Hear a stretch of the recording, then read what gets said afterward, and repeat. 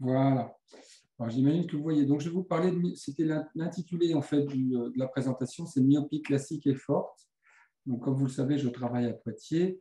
Et pour parler de myopie, déjà, il faut revenir un peu aux sources. Hein. Les sources sont euh, euh, les sources euh, antiques, puisque Aristote, au IVe siècle avant notre ère, avait déjà observé, à l'époque, il n'y avait pas d'autoréfractomètre, il avait observé que la tendance naturelle des myopes était de contracter les paupières pour créer une fente, un peu, un, peu comme un trou sténopléique.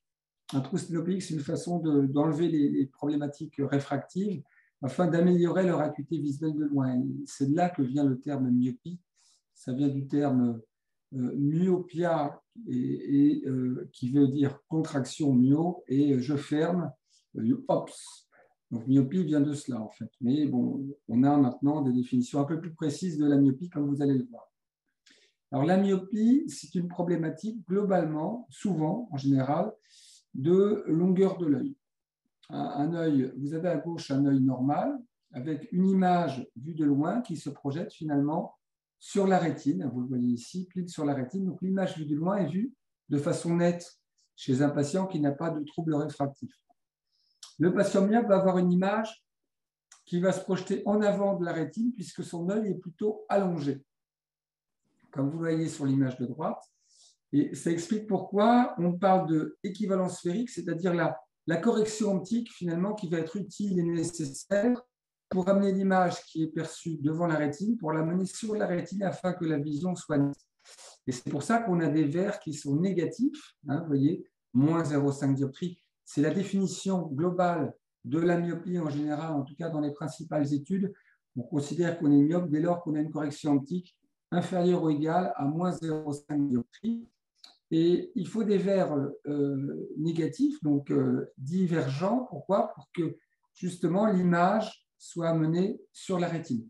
Alors très facile hein, pour vous dans la rue de reconnaître des myopes, euh, c'est de simplement regarder leurs lunettes et si l'image vue au travers des lunettes rétrécit, bah, c'est que la, personne est myope. On parle de myopie forte quand euh, la correction optique est inférieure ou égale à moins 6 dioptries ou selon l'OMS, euh, moins 5 dioptries, parce qu'à moins 5 dioptries, on atteint le critère de malvoyance en fait, qui est inférieur à 3 sur 60e. Et à partir de là, ça permet à l'OMS, si vous voulez, d'avoir des données euh, de malvoyance dans le monde. Est-ce que vous avez des questions à ce, niveau des, des explications Alors, la première question qui serait peut-être euh, quelle différence peut-on avoir euh, euh, Là, pour ceux qui ne voient pas très bien à l'écran, effectivement, je pourrais dire que l'œil normal, c'est un ballon de foot, et puis l'œil myope, c'est un ballon de rugby, en gros, c'est ça hein? Voilà, surtout qu'avec le 15 de France, le ballon de rugby est à la mode. effectivement, l'œil myope est plutôt un œil classiquement allongé. Alors, pas dans tous les cas, mais euh, assez. Alors, il me met que ma connexion Internet est instable. J'espère que ça va marcher quand même jusqu'au bout. Mais classiquement, un œil plutôt allongé, effectivement. Alors, vous voyez, on parlait, là, vous aviez un schéma, mais là, vous avez directement une IRM. Hein, ici, vous voyez, il y a ce patient-là, vous m'entendez? Oui, parfaitement. très bien. Alors, ce patient-là, par exemple, sur l'image de droite, il a un œil normal à gauche, enfin, son œil droit est normal parce que l'image est inversée sur l'IRM son œil est normal, mais l'œil gauche, vous voyez, on peut parfois avoir ce qu'on appelle une anisométropie, c'est-à-dire une différence importante entre deux yeux. Ça peut arriver. Et vous voyez que donc là, il y, a, vraiment un œil myope. Et vous comprenez d'emblée la problématique de l'œil myope, c'est que finalement, les tissus du patient myope, il y a la même quantité de cellules globalement à la naissance, et ces tissus-là vont être donc étirés. Hein, ça va déjà poser des problèmes. Et le myope, en plus, vous imaginez que dans cette cavité orbitaire qui a une taille finalement limitée, ben, l'œil myope, quand il va bouger, il va pouvoir potentiellement être gêné, d'où des troubles de, parfois de, de, comment dire, des, strabismes, par exemple, chez le myope. Et là, c'est un patient qui, était myope des, deux yeux. Et vous voyez qu'effectivement, la cavité orbitaire qui est, paraît très, très étroite pour ces yeux qui sont, qui sont très gros par rapport à cet œil-là de droite. et alors, myope, euh, un myope classique, il ne peut pas voir les objets lointains. Donc sa vision est, floue s'il n'a pas de lunettes ou de lentilles. Par contre, la personne qui a une myopie forte, elle parvient à lire sans correction en tenant le texte de façon appropriée ou rapprochée de l'œil. Comment c'est possible ça? Alors voilà, eh ben, justement, j'allais y revenir. Le patient myope, effectivement, a une vision floue. Hein, j'ai une image, voilà, il a une vision floue sans correction. Mais de près, l'intérêt du myope, c'est qu'il est déjà presbyte beaucoup plus tard. Hein.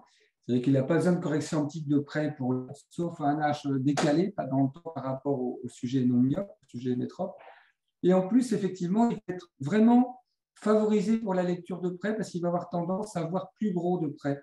Les caractères vont lui paraître plus gros. Les myopes lisent beaucoup plus vite, souvent une vitesse de lecture beaucoup plus rapide que les myopes. J'ai un, collègue au CHU de Poitiers, euh, par exemple, qui est myope de moins 4 et il lit, euh, il lit quasiment trois livres par semaine, trois romans par semaine. Alors moi, j'en rêve, mais lui, il peut lire trois romans par semaine alors qu'il travaille par ailleurs parce que justement, il a une vision des hommes de près qui est, beaucoup plus, euh, qui est beaucoup plus nette et qui est un peu grosse. Ça grossit un peu l'aspect des lettres de près. Et donc, le patient myope voit beaucoup mieux de près globalement que le patient électron. Enfin, en tout cas, une meilleure qualité de vision de près. Et d'où l'appétence peut-être pour les myopes à la lecture, parce que simplement, effectivement, ils sont dans un monde où la vision de loin est moins, bonne. Et ayant une bonne vision de près, ben, ils ont tendance à, à lire peut-être plus que les non Aller un petit peu plus vite, d'accord. Et alors, euh, il est souvent dit que dans les pays occidentaux, euh, on assiste à une flambée de la myopie classique. Euh, est-ce que, professeur, vous pensez que c'est inéluctable et est-ce que vous pensez qu'il y a un moyen de la maîtriser? Alors oui, effectivement. Alors déjà, vous voyez, là, vous avez différentes classifications de la myopie et globalement, moi, je vous parle de myopie axiale c'est la myopie où l'œil est plus long, mais on peut avoir des myopies liées à la problématique de cornée ou à des problématiques de cristallin. Effectivement, dans le monde, vous voyez, il y a une augmentation importante euh, de la myopie. Là, vous avez une méta-analyse qui porte sur 145 publications. En l'an 2000, on était globalement à 23% de myopes dans le monde, vous voyez. En 2020, on est à 33 34%. Et en 2050, on devrait être 50%. Donc, effectivement, il y a une augmentation importante dans le monde, même en Europe. Hein. Même en Europe, mais, euh, comment dire, mais euh, où c'est le plus important, c'est quand même en Asie. Vous voyez, l'Est asiatique, là, on, passe de 39% à 65% en 2050. Donc, une augmentation importante dans le monde. Ça, c'est des données aussi de l'article. On serait globalement 1,5 milliard de myopes en 2000 euh, et on passerait quasiment à 5 milliards de myopes, un peu plus d'ailleurs, parce qu'il y a les, les myopes forts, un peu plus de 5 milliards de myopes en 2050. Donc, effectivement, il y a une grosse problématique d'augmentation de la prévalence de la myopie dans le monde. Là, on a des, données, par exemple, sur les, sur les différentes personnes, vous voyez, sur les, des âges moyens, des études de prévalence sur les groupes ethniques. Et vous voyez que, par exemple, on prend simplement Singapour, euh, il y a 4,1% euh, de la population qui est même forte, et on est à euh, euh, tout confondu, 28% myopes. Alors ça, c'est une, étude probablement assez ancienne, mais il y a d'autres études, vous voyez, on est à 95%. Hein. pour les étudiants chinois, 95% de myopes et 19% de myopie forte. Donc c'est énorme. Et en France, ça c'est une étude qu'on avait publiée, c'était notre, dans notre tableau dans la discussion. Vous voyez, on était dans notre étude, on avait trouvé 40% de myopes chez les adultes, avec 5% de myopie forte à peu près. Myopie forte, inférieure ou égale à moins 6 dioptries. Et en termes de, en termes de, myopie forte, euh, bien évidemment, il y en a moins que des myopies classiques. C'est quoi le rapport euh, exactement? Le rapport Qu'est-ce que c'est qu'une myopie forte par rapport à une myopie classique? Non, le nombre, si vous voulez, de, euh, là, vous avez fait état donc, de la myopie, de, statistiques qui sont effectivement très importantes en, termes d'augmentation. Et, et, la myopie forte suit exactement de manière même si en, termes d'individus, il y en a moins, est-ce que c'est la même linéarité d'augmentation? Non, non, je ne pense pas. Je pense que la linéarité de l'augmentation de la myopie forte est d'autant plus, ça augmente un peu plus. C'est toujours beaucoup moins important que la myopie en général, mais ça augmente d'autant plus qu'il y a une pression éducative importante. Vous voyez, les, typiquement les étudiants chinois, hein, euh, on était à, euh, je ne sais plus là, voilà, c'était là, à 19% de myopie forte les conscrits de Singapour, donc les jeunes, jeunes hommes de Singapour, 13% de myopie forte. Vous voyez, en comparaison aux chiffres, c'est beaucoup plus important, ces chiffres-là. Vous voyez, 13% versus 79% dans la même population, ou, 19% euh, versus 95%, c'est beaucoup plus important que 5% versus 40% en France.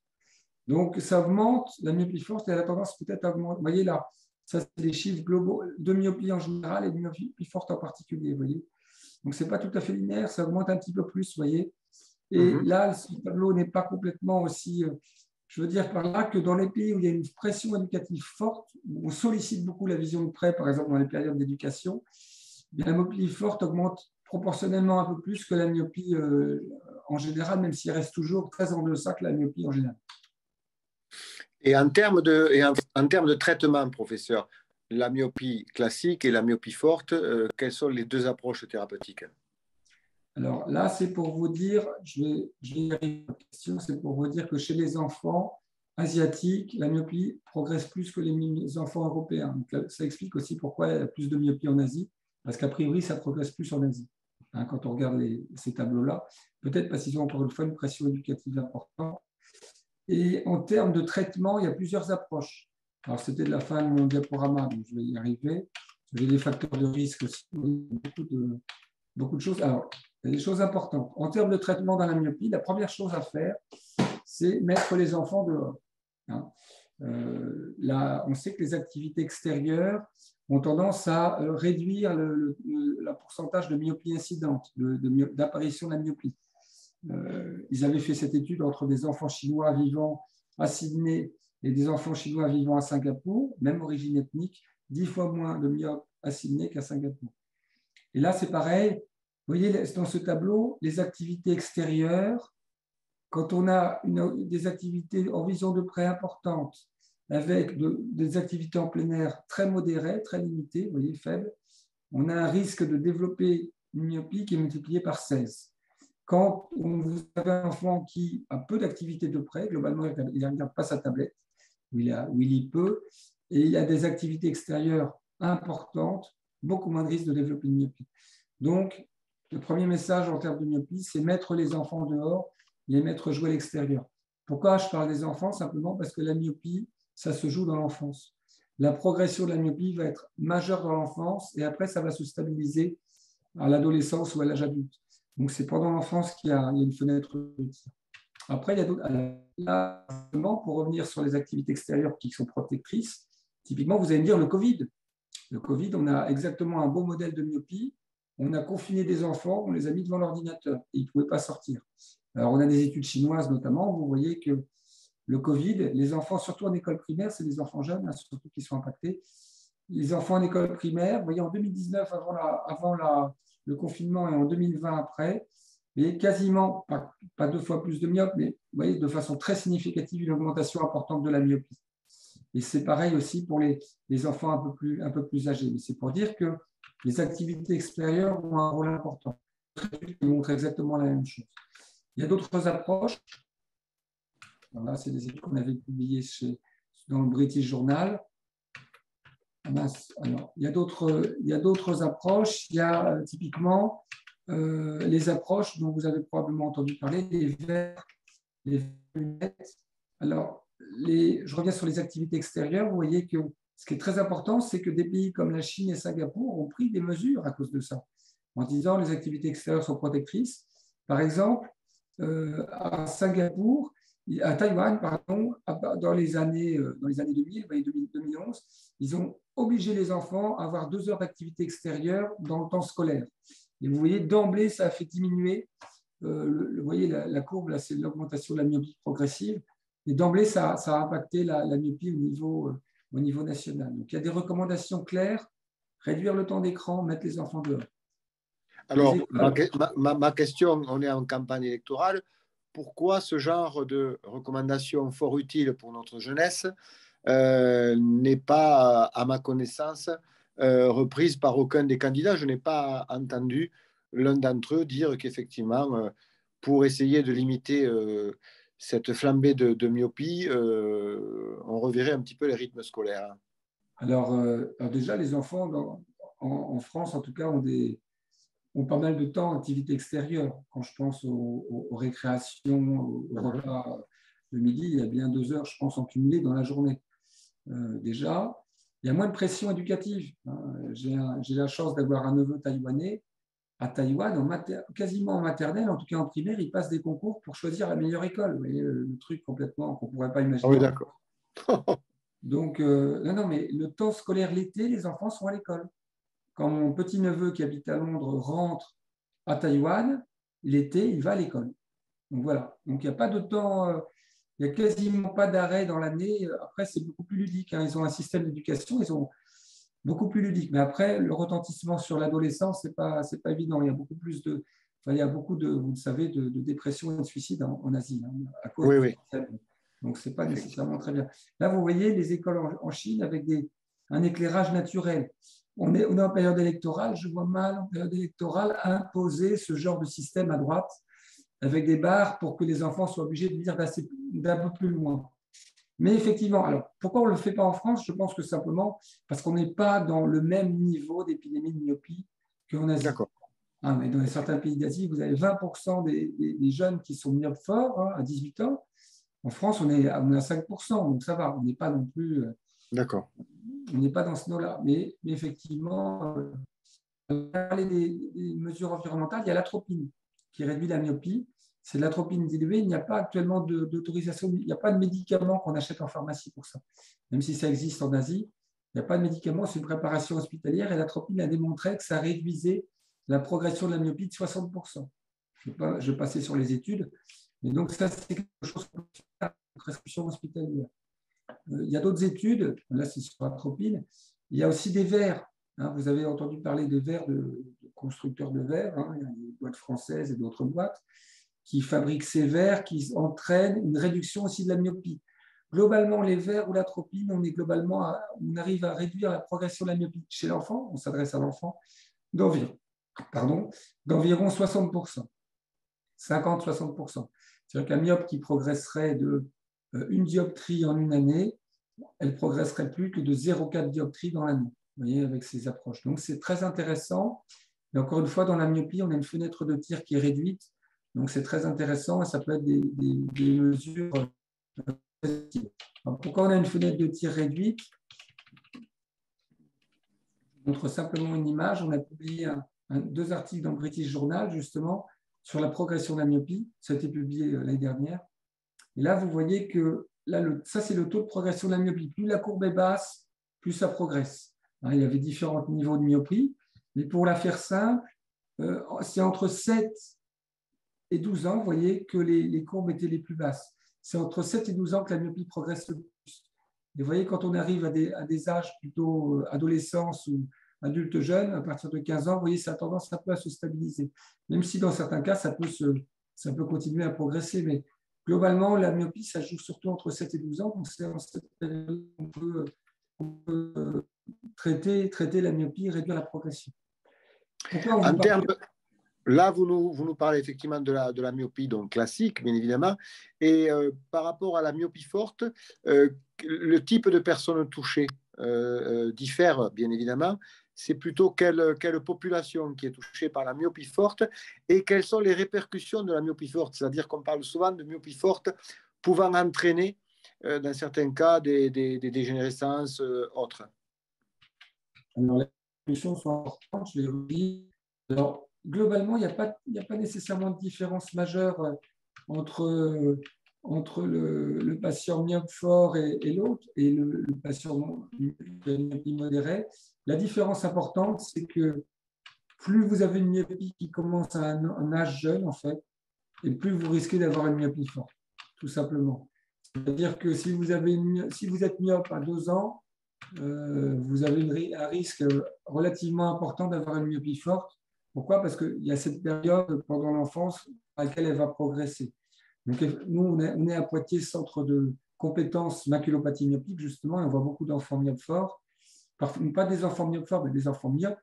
Disons, quand on est myope à deux ans, ce n'est pas normal, clairement. Donc, il est important d'avoir en tête qu'on aura d'autant plus de risques d'avoir une myopie forte qu'on a une myopie assez élevée à un âge assez jeune. Voilà. Mais sinon, il y a sinon la, myopie, on parle de myopie scolaire, la myopie qui apparaît chez le jeune, par exemple, chez le jeune de 15 ans qui va, qui va lire beaucoup et tout, c'est des myopies assez modérées, ça. Mais la myopie forte, c'est myopies plus, euh, importantes, évidemment. Co-ralentissement au niveau, au niveau complications, je vous en parle tout à l'heure. Pour vous donner une idée quand même du coût de la myopie, Ça, c'est une étude publiée sous l'égide de l'American Academy du coût, une méta-analyse, hein, qui a repris beaucoup d'articles, sur le coût de la myopie dans le monde. Vous voyez l'estimation basse du coût de la myopie. je parle du coût là, c'est-à-dire du coût des complications et du coût des euh, problèmes de réfraction de lunettes à acheter et tout, hein, de correction optique. Dans l'échelle la plus basse, vous voyez, ça coûte, dans le monde, ça coûte 51 milliards, hein, vous voyez, 51 milliards euh, de, euh, de dollars, la myopie. Dans l'échelle la plus haute, dans l'estimatif le plus haut, on est à 714 milliards de dollars, le coût de la myopie. Donc le coût de la myopie, c'est quand même assez considérable. effectivement, si on peut réduire la progression de la myopie, il y a moins de complications. Justement, aux complications dont vous parliez, euh, Monsieur Vicari. les complications dans la myopie, on peut les voir à tout, niveau de myopie.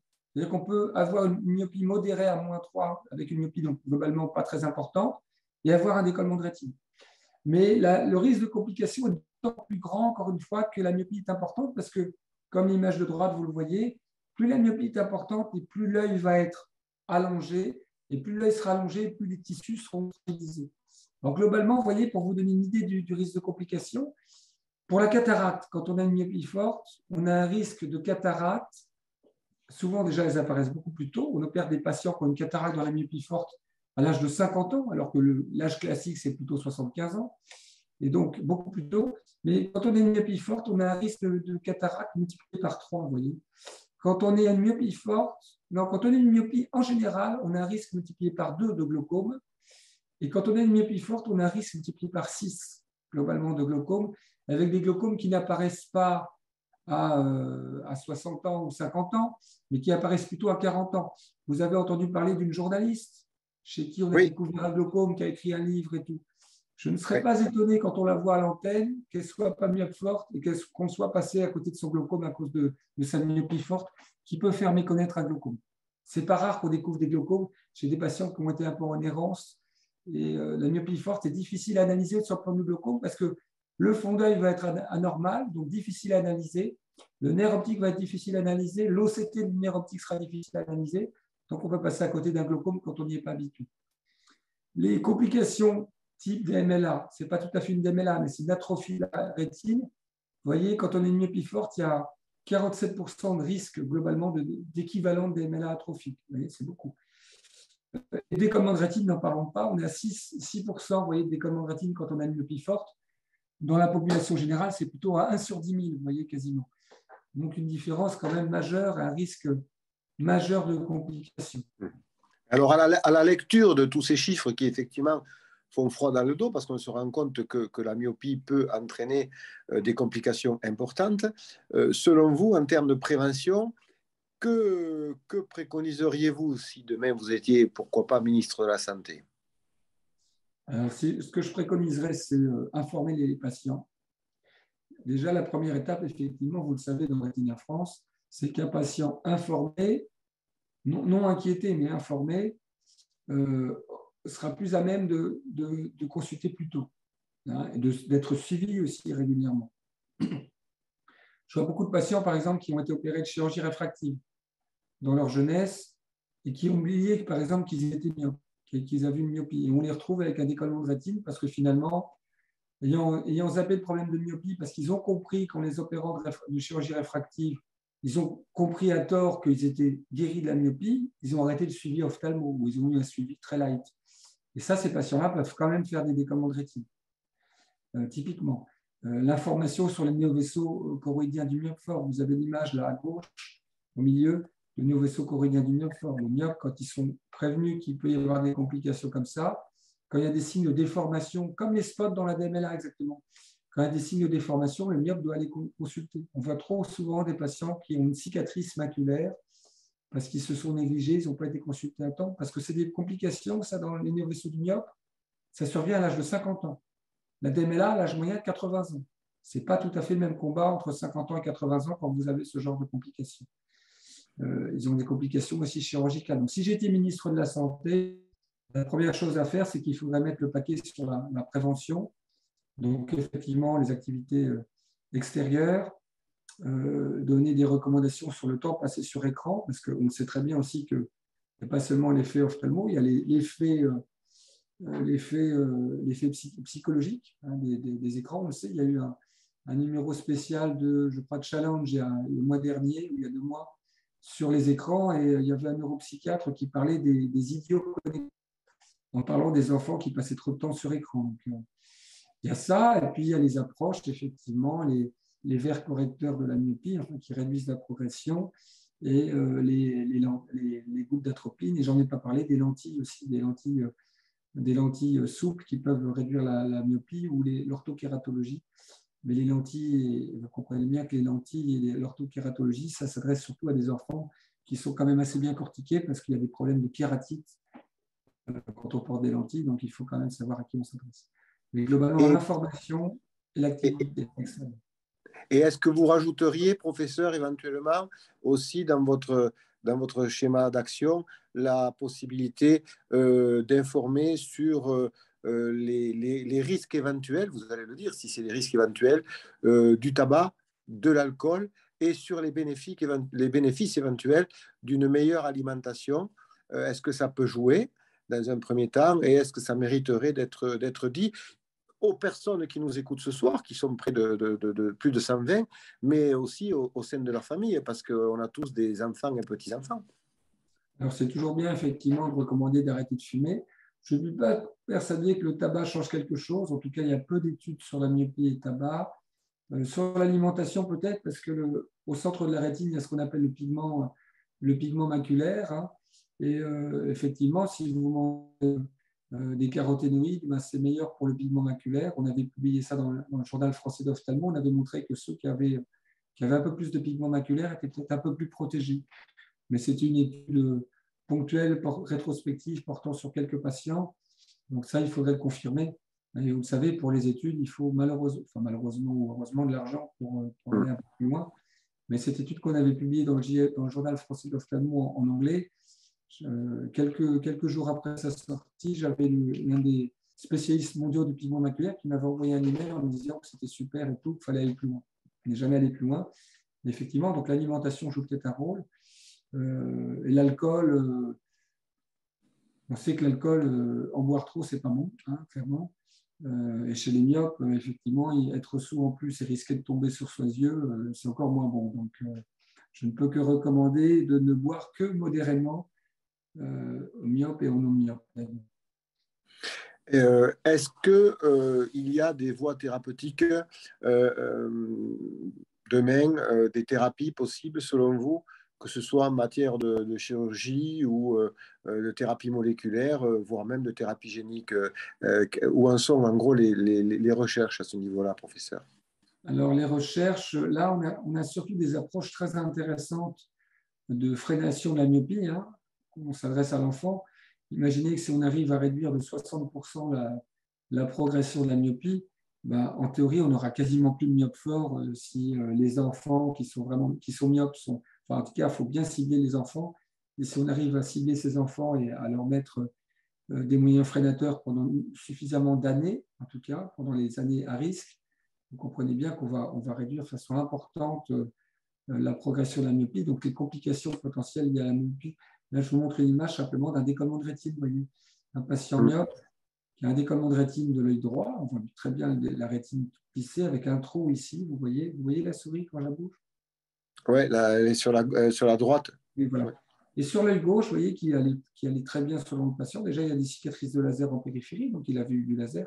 Là, vous voyez, il y a un décollement de rétine de l'autre côté avec une grosse déchirure ici. Donc voilà un, myope, euh, comme on peut en voir classiquement les patients myopes ne vont pas toujours très bien. Et là, on avait mené une étude sur près de, alors je ne sais plus, il y avait peut-être 100 000 patients à peu près, euh, sur euh, des patients myopes. Et pour vous donner une idée quand même du retentissement de la myopie, on en parle peu, hein. mais euh, globalement, quand on a 60 ans et plus, vous voyez, on a, on a fait des classes d'âge 0,29, 30, 59 et 60 ans et plus. Si on a une myopie forte de plus de moins d'idioptrie, ça représente à la louche 1% euh, peut-être euh, de la population, 1, entre 0,5 et 1% de la population générale. Donc c'est pas mal. Mais si on est myope de force, donc c'est une myopie particulièrement importante, mais bon, ça représente quand même un chiffre important de la population, eh bien, à 60 ans et plus, on a 26% de risque d'être en situation de malvoyance ou de cécité. Donc, acuité visuelle sur le meilleur œil, inférieure à 3 dixièmes. À 3, à, 3 vingtièmes, pardon. Euh, ah non, à 3 dixièmes, excusez-moi.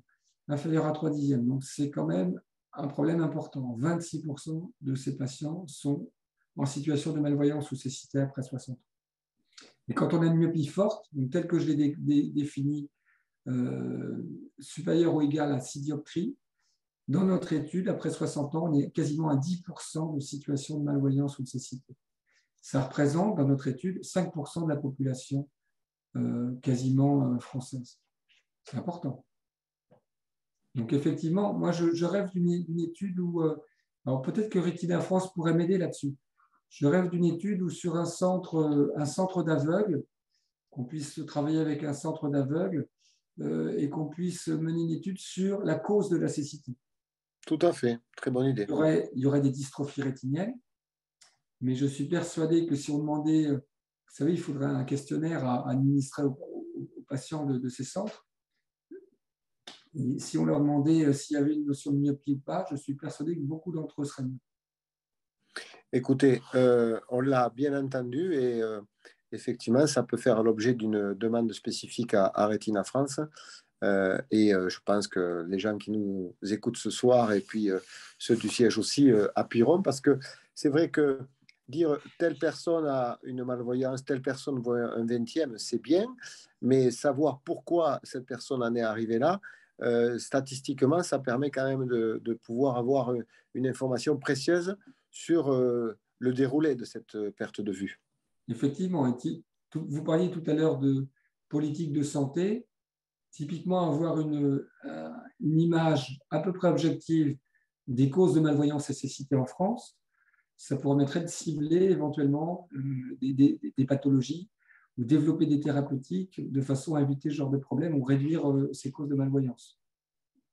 une question d'une de nos chères adhérentes, je l'ai vu s'afficher, c'est est-ce qu'il y a des facteurs génétiques qui, qui prédisposent à la, à la myopie?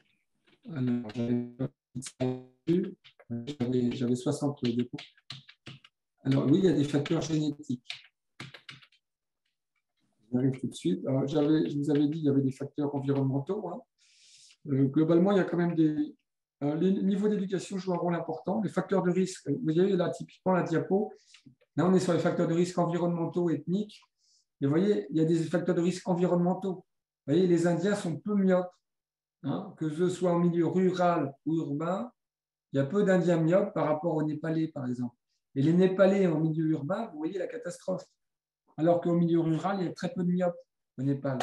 En Chine, vous voyez, là, il y a beaucoup plus de myopes en milieu urbain. Donc, le milieu de vie joue, mais le niveau, comment dire, l'origine ethnique aussi joue, probablement. Après, euh, le niveau d'éducation, hein, plus vous avez un degré d'éducation élevé, vous le voyez là, plus vous allez vers la droite, et plus vous êtes mieux. On va bientôt arriver à, l'origine génétique. Hein. Là encore, le niveau ethnique, les Chinois et les Esquimaux sont beaucoup plus myopes que les, Indiens, par exemple. L'héritabilité, là on arrive sur le génétique. Quand vous avez des, jumeaux, eh ben, quand vous avez un frère jumeau myope, souvent vous, vous êtes myope quand même. Et euh, globalement, quand vous avez deux parents myopes, vous avez six fois plus de, parents, de risque d'être myope. Quand vous avez un parent myope, vous avez trois fois plus de risque d'être myope. Ça, ça varie selon les études un petit peu, mais globalement. Alors, on peut toujours me dire que euh, quand vous avez des parents myopes et donc qui lisent beaucoup, ben, les enfants ont tendance peut-être à lire beaucoup plus que des enfants qui euh, n'auraient pas des parents myopes. Donc, ça peut, vous voyez, c'est un peu intriqué, facteurs de risque environnementaux et génétiques. Mais néanmoins, sur les facteurs génétiques, il y a eu des études. Les études familiales montrent qu'il y a 70% d'héritabilité. Mais là, encore une fois, facteurs génétiques et environnementaux peuvent être un peu intriqués. Mais quand on analyse euh, les facteurs génétiques en général, il y a quand même près de 200 euh, facteurs de susceptibilité génétique ont été découverts dans la myopie, mais ces facteurs-là expliqueraient moins de 10% des variations de réfraction. Donc les facteurs génétiques semblent assez modérés dans le cadre de la myopie en général. Après, il y a des myopies dites syndromiques un peu comme les dystrophies rétiniennes, où vous avez une mutation et la myopie avec. Hein, il y, a des, myopies comme ça, avec euh, des mutations notamment dans le gène du collagène, qui peuvent entraîner des myopies et qui entraînent souvent d'autres pathologies générales. Là, vous voyez, vous avez les, chromosomes, évidemment, le cariotype, avec les différents facteurs génétiques identifiés. Et, là, hein, vous voyez, les gènes impliqués, c'est souvent la fibrilline, du collagène. Vous voyez, il y a le, syndrome de Marfan, la maladie, de Stickler, vous voyez, des, pathologies qui entraînent souvent des problèmes ophtalmo, notamment de la myopie. Toutes ces pathologies-là, c'est de la myopie mais également d'autres complications. Hein, le syndrome de Marfan, typiquement, c'est important de faire le syndrome de Marfan quand on voit un patient très myope, qui a plutôt une grande taille et tout, lui demander s'il y a des entorses à répétition, parce qu'on peut lui sauver la vie en, dépistant, par exemple, les anévrismes aortiques. Hein, parce que le syndrome de Marfan, ils font des anévrismes aortiques. Les parois artérielles, comme il y a des problèmes de collagène, elles ont tendance à faire des, anévrismes qui peuvent se rompre. Euh, voilà, il y, a des, gens très grands qu'on a connus dans l'histoire de France qui avaient probablement des marfans qui sont morts d'une rupture d'anévrisme. D'accord. Est-ce que euh, la correction de la myopie forte par des lentilles, euh, suite à une opération de la cataracte, est-ce que ça peut entraîner des effets secondaires? C'est aussi une question posée par une adhérente. On a eu plusieurs questions par Patricia Lopilwer, que je, que je salue amicalement, par Luigi Avanzati, euh, aussi, à lui. Et donc, euh, est-ce que la correction donc, de, la, de la myopie avec des lentilles, ça peut, ça peut poser problème suite à une opération de la cataracte? Est-ce qu'il y a de nombreux cas comme ça? Alors, quand on a des patients myopes, déjà, souvent, les patients myopes ont des cataractes plus jeunes. Donc, il faut réfléchir à la lentille qu'on va poser. Parce que quand on opère la cataracte, on peut justement jouer sur le facteur réfractif pour la bonne raison que, ben, en enlevant le cristallin et en choisissant la, puissance de la lentille, on peut corriger en partie la, myopie. Ce qui fait qu'on va, on va mettre souvent, une, par exemple, si c'est un myope de moins 10 qu'on va opérer, on ne va pas le laisser à moins 10 parce qu'il est quand même gêné en vision de loin. Mais on lui proposera éventuellement une lentille de moins, qui permettra d'avoir une correction de moins 1,50 ou moins 2. Ce qui fait que lui, une fois opéré, aura plus une myopie très importante, mais plutôt une myopie euh, relativement faible ou modérée, moins 1,5, moins 2, qui lui permettra de voir bien de près sans lunettes. Et finalement, le matin, quand il se lèvera sans ses lunettes, il aura l'impression de revivre, en tout cas juste après avoir été opéré, parce qu'il n'aura jamais vu aussi bien.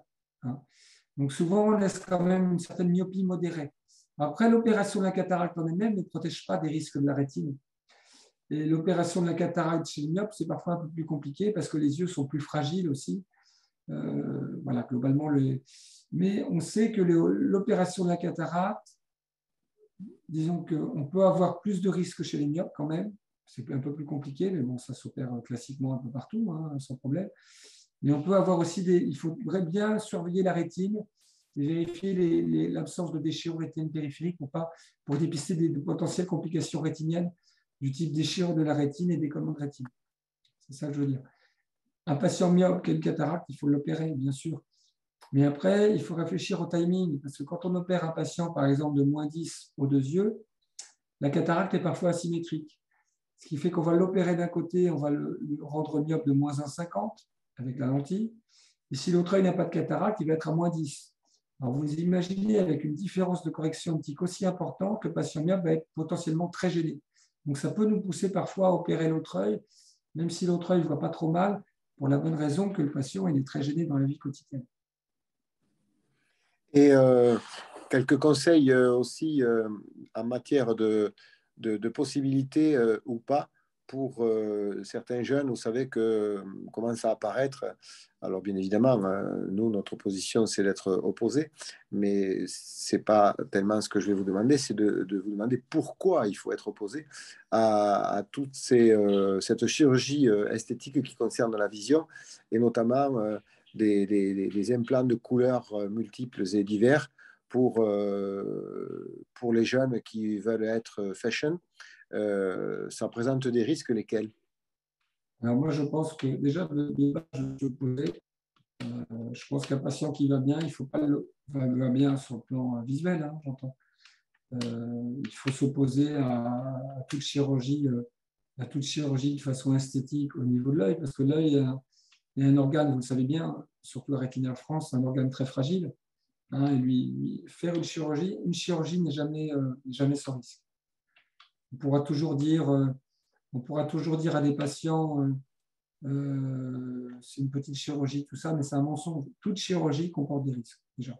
Donc, si vous rentrez dans l'œil et que le patient voit bien, il faut imaginer une pièce avec un, plafond, si vous voulez. Si le patient voit 10 dixièmes, il est au plafond en termes de vision. Si on l'opère, on lui fait courir tous les risques avec un bénéfice nul en termes de vision. Donc déjà, c'est une aberration complète. Après, les implants aériens, l'iris, c'est un, tissu qui est euh, très sensible, très réactif, euh, qui peut donner un peu d'inflammation quand on le titille un peu. vous imaginez bien qu'aller triturer, triturer l'iris uniquement pour mettre euh, un implant coloré, moi je trouve ça potentiel, clairement aberrant. Et je suis plutôt opposé. C'est un peu le, d'ailleurs la position de la Société française d'ophtalmo hein, sur ce sujet. Euh, oui, tout à fait. C'est pour ça que je vous posais la question. Parce à, la, à, la, coloration aérienne, clairement, ou à l'empreinte. Vous savez, on fait des empreintes cornéennes aussi pour, euh, pour colorer justement. Et la problématique des empreintes cornéennes, vous savez, vous injectez une espèce d'encre dans, dans l'épaisseur de la cornée pour colorer et pour donner un aspect, bah, donner un, les yeux bleus ou les yeux violets comme vous voulez. Déjà, on peut le, retirer, c'est quasiment, c'est pas possible. Hein. Et puis aussi, surtout, accéder au fond d'œil après, quand la cornée est colorée, vous avez un fond d'œil très limité. Donc, vous pouvez, si vous avez un problème de décollement de rétine avec des déchirures périphériques, il peut être très, très limité pour une prise en charge. Si vous avez comme ça une, cornée colorée, pour opérer la cataracte, il faut être bien dilaté pour opérer la cataracte. Seulement si la cornée devant est colorée, le cristallin, vous le voyez à peine, vous le voyez par un petit trou. Pour opérer un cristallin par un petit trou, c'est difficile. Donc, ça, des risques potentiels pendant le geste opératoire, pour un bénéfice visuel nul et pour des problématiques après prise en charge de pathologies qui peuvent être, euh, qui peuvent être très compliquées. Donc, euh, j'ai toutes les raisons de, m'opposer à ce genre, d'attitude. Écoutez, on est tous sur la même longueur d'onde. Euh, on garde la couleur des yeux qu'on a depuis la naissance et ça ira, tous, ça ira très bien.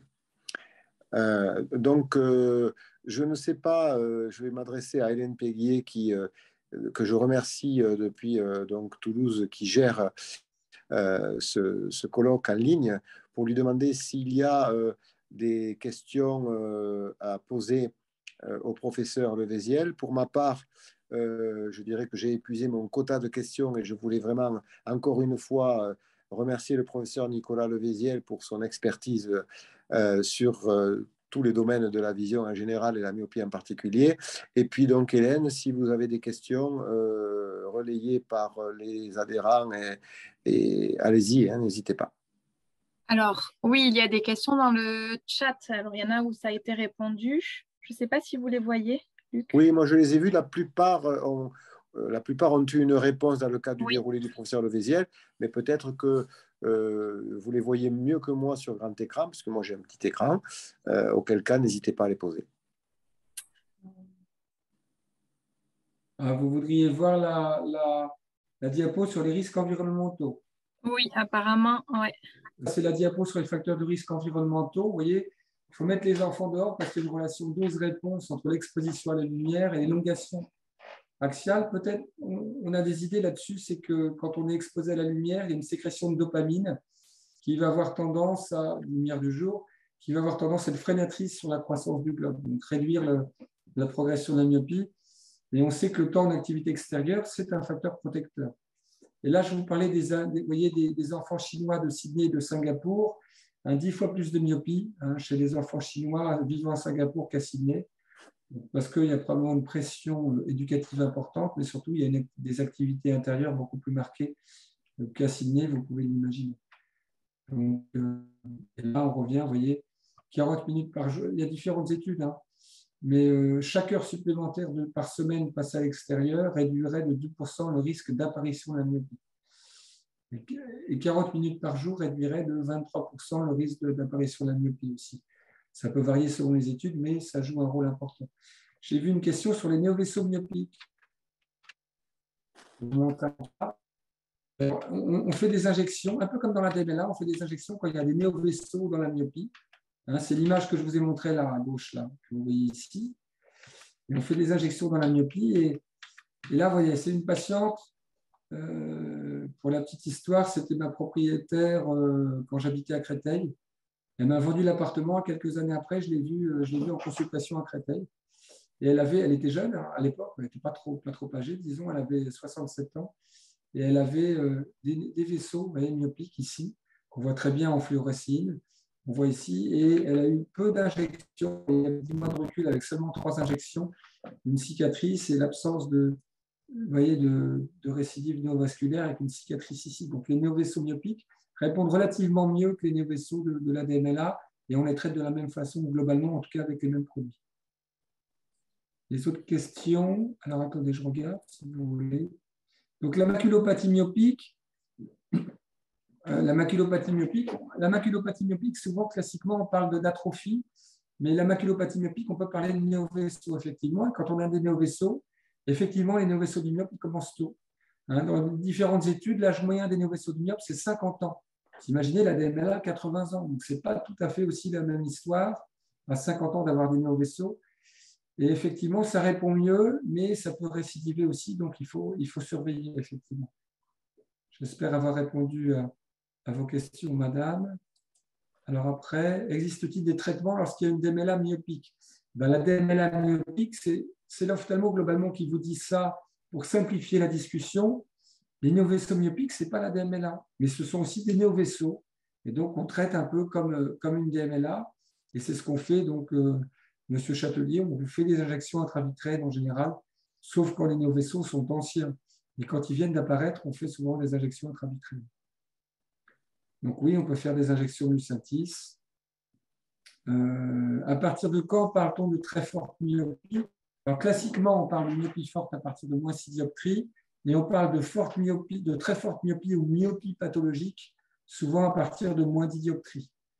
Hein, c'est pour ça que dans notre étude, on, s'était focalisé sur le, moins 10 dioptries. Euh, j'ai été opéré d'une cataracte et j'avais une myopie de moins 16, moins 14. Maintenant, une myopie de moins 3, moins 1. Je vois très bien de près, mais je suis souvent euh, dans le brouillard quand mes yeux sont fatigués. Alors, on peut, on peut être dans le brouillard quand nos yeux sont fatigués parce qu'on peut avoir une petite kératite si on travaille beaucoup sur écran, on cligne moins des yeux, on peut avoir une petite sécheresse oculaire qui entraîne une petite irritation de la cornée. Et la cornée, quand elle est irritée, on voit, beaucoup moins bien, on est dans le brouillard. Donc ça peut être simplement ça. Les myopes aussi, parfois, ont des yeux, vous savez, ben, vous l'avez vu sur les images, un peu plus protubérants. Donc ils peuvent avoir aussi des problèmes de surface oculaire euh, beaucoup plus fréquemment. Les myopes peuvent avoir plus de, plus de risque de glaucome. Parfois, ils mettent des gouttes dans les yeux à cause du glaucome donc, ça peut aussi irriter les yeux, hein, les gouttes en plus, on met dans les yeux pour le glaucome. Donc, tout ça, ça peut être des facteurs qui expliquent le, brouillard, euh, parfois en fin de journée. Alors, une très bonne question. La, myopie se stabilise à quel âge? Globalement, vous avez vu les courbes, hein, ça se stabilise euh, à, l'âge adulte jeune. On a travaillé, on a publié un article dans le British Journal sur les jeunes adultes euh, ayant de la myopie, il y a certains adultes qui ont de la myopie qui continuent à progresser. Hein, si, vous êtes, vous êtes des myopes forts devant l'écran aujourd'hui, ce soir, vous savez bien que euh, dix ans avant, le degré de myopie était parfois inférieur à ce que vous avez maintenant, parce que la myopie peut quand même continuer un peu à progresser. Mais globalement, ça se stabilise classiquement à l'âge à, l'âge, un âge assez jeune. La, la, cécité nocturne, hein, euh, congénitale, ou euh, toutes les pathologies ou les rétinites pigmentaires peuvent être associées à un problème de myopie. Hein, je ne vous en ai pas parlé, mais il y a les myopies syndromiques avec des pathologies générales extraoculaires. Mais il y a aussi des myopies syndromiques où typiquement, ben, on peut avoir une rétinite pigmentaire et ça peut, on peut avoir une myopie. C'est pas rare d'avoir une myopie quand on a une rétinite pigmentaire. C'est pas rare euh, euh, d'avoir une cécité congénitale et, et d'avoir une myopie. Donc, on peut avoir des pathologies rétiniennes autres, une dystrophie rétinienne, et être aussi également myope. C'est pas, c'est pas, c'est pas, voilà, c'est pas contradictoire. Les compléments alimentaires, j'en ai parlé, il n'y a pas de preuve. Je suis toujours étonné par le nombre de myopes qui prennent des compléments alimentaires. Je suis assez, euh, voilà, il faut être prudent. Je pense qu'une bonne alimentation vaut mieux que des comprimés alimentaires qui peuvent être faits euh, dans des conditions parfois difficiles à vérifier. Il vaut mieux euh, manger sainement, hein, des caroténoïdes dans des carottes, du jaune d'œuf, des choses comme ça, que de prendre des pilules déjà dès l'âge de 40 ans. Je ne suis pas persuadé que ce soit, ce soit très positif. De quelle chirurgie réfractive parlez-vous? Ça, c'est une question de Madame Patricia Lepilouer, peut-être en Bretagne, euh, peut-être dans le sud. Vous m'entendez, monsieur Oui. Ah. Euh, alors, la chirurgie réfractive, il y a différentes approches dans la chirurgie réfractive. Déjà, en général, c'est sculpter la cornée. Euh, il y a ce qu'on appelle le LASIK. On va créer un capot, on va découper un capot cornéen dans l'épaisseur de la cornée qu'on va retourner. On va faire du laser sur la cornée euh, restante et on va rabattre le capot de façon à ce que le patient n'ait pas mal. Ça, c'est le LASIK. Quand la myopie n'est pas trop importante, parce que quand on fait de la LASIK, on découpe la cornée, on, fragilise un peu la cornée. Il ne faut pas que ce soit des myopies trop fortes. Quand la myopie est un peu plus forte, on peut faire ce qu'on appelle une PKR, une photokératectomie réfractive, où on va sculpter directement sur la cornée. Euh, et après, il y a d'autres approches où, les patients peuvent se faire opérer avec un implant qui est situé entre le cristallin et l'iris hein, pour corriger la myopie. Euh, mais c'est des, chirurgies un peu plus invasives, donc il faut quand même réfléchir. Euh, globalement, en général, toute chirurgie, il faut réfléchir. voilà, il faut savoir, faut savoir où on va en termes de myopie et, jusqu'où on veut aller, parce que toute chirurgie comporte ses risques. Voilà. On va encore répondre à peut-être deux ou trois questions. Euh, et ensuite, donc, euh, euh, saluer tous les participants et puis les, faire le mot de remerciement, sauf si vous voulez, professeur, répondre à un petit peu plus de questions. Nous, c'est avec un, très grand plaisir, vous le savez. je peux répondre à un peu plus de questions, ça ne pose pas de problème. Pourquoi la proportion de est plus faible en Afrique? Alors, effectivement, dans les études, il y, a, il y a moins de myopes en Afrique. On va peut-être revenir sur le, sur les diapos d'avant au tout début. il y a moins de en Afrique parce que euh, peut-être euh, le milieu urbain est beaucoup moins euh, développé. Hein, il y a plus d'activité extérieure, plus de, luminosité, hein, plus peut-être d'ensoleillement, effectivement. ça peut expliquer pourquoi en Afrique, vous voyez, on est là. Effectivement, il y a moins de myopes. Hein.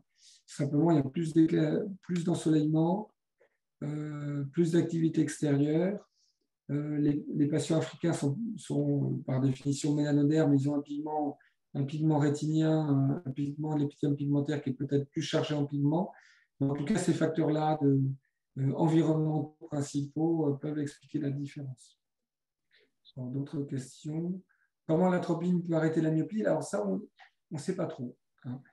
on pense que l'atropine a un effet muscarinique qui réduit mais on ne sait pas trop pourquoi, parce qu'on euh, utilise à des doses très, très diluées, donc il y a peu d'effets secondaires de la. C'est important que vous le sachiez. Ce n'est pas la goutte d'atropine qu'on va vous mettre pour vous dilater, pour faire une, réfraction. C'est très, très dilué, donc les patients, les enfants, parce qu'on s'adresse à des enfants, sont très peu gênés par l'atropine, et on ne sait pas précisément comment ça fonctionne, euh, mais ça a l'air de fonctionner, et donc c'est pour ça que c'est utilisé en tout cas. Savez-vous pourquoi la proportion, oui, la proportion est faible en Afrique J'ai répondu. Euh, je vais aller en bas, en question du bas. Préconisez-vous à un jeune étudiant faible myope de faire des verres spéciaux? Ça, c'est une bonne question parce que les études euh, ont été faites de progression de la myopie, j'entends. Vous savez, les verres euh, ou les lentilles, c'est fait chez des enfants en général entre 8 et 13 ans, globalement, ces études-là. Donc, il y, a une preuve scientifique de l'efficacité de ces verres sur cette population. Un étudiant myope euh, qui a une myopie qui progresse, moi, je ne serais pas contre euh, le fait de, prescrire ces verres dans la mesure où sa myopie progresse et qu'on a, une, a une preuve de la progression de la myopie. Il faut savoir que les verres, il y a un reste à charge quand même euh, relativement important. Il doit être aux alentours de 140 ou 150 euros. Et donc la myopie progresse, effectivement, on peut prescrire des verres. On est un peu hors des clous en termes de scientifiques, mais euh, si c'est une myopie qui progresse rapidement, euh, on aura un profil d'évolution de la myopie, on pourra suivre donc la progression et surveiller un an, par exemple, voir l'efficacité, et ça peut être, et ça sera tout à fait euh, utile. Et moi, je ne suis pas, si vous voulez, opposé à cette, à cette prescription, pour laquelle on ne fait pas courir de risque. Après, il faut que les verres soient bien tolérés ce qui, est, le cas chez les enfants jeunes, Mais chez les adultes, plus, chez les adultes, c'est pas évident que les verres soient bien tolérés. Donc, euh, peut-être faire les essais chez l'opticien avant de, avant les prescrire. Madame Weiss, qu'en est-il des thérapies géniques pour les myopes? À ma connaissance, il n'y a pas de, d'études en cours, euh, à ma connaissance, je me trompe peut-être, sur la myopie forte. Euh, il, y a des, il y a des études sur, et vous le savez bien, sur les dystrophies rétiniennes. Donc, il y a un patient, des patients qui sont myopes ont des dystrophies rétiniennes. Mais la, myopie forte, il n'y a pas d'études parce qu'il n'y a, pas de, a pas un gène. La thérapie génique, c'est quand on a typiquement une maladie un gène, ou une maladie, quelques gènes. Là, vous avez vu dans la myopie, ça explique déjà 10% des erreurs réfractives. Euh, il y a plus de 200 facteurs de, risque génétique. Donc, c'est vraiment multifactoriel, en tout cas multigénique, avec un impact assez modéré de, la génétique. Donc, il n'y a pas beaucoup d'intérêt, à mon avis, à, réaliser, euh, à, mettre en place des thérapies géniques, d'autant plus qu'il y a actuellement des solutions freinatrices. Alors là, une bonne question aussi, y a-t-il un intérêt à réaliser une, une recherche génétique? Alors, dans le cadre d'un centre de compétences myopie syndromique, comme nous le sommes à Poitiers, euh, il, est, fréquent et travaille avec un généticien. Quand on voit des enfants euh, très myopes, par exemple des enfants de 6 ou 7 ans qui sont très myopes, euh, très facilement, je les envoie voir le généticien pour rechercher s'il n'y a pas justement une myopie syndromique, un syndrome de Marfan, une maladie des lèvres dans l'os, c'est le généticien qui fait ça très bien en, en coordination avec l'ophtalmo et les informations que vont lui donner l'ophtalmo pour justement pouvoir identifier éventuellement une myopie syndromique. Ça, c'est important.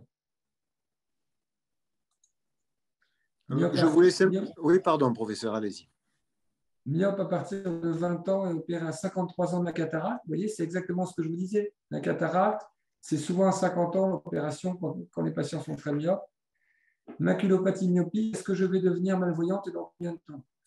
Alors, je ne suis pas euh, Irma.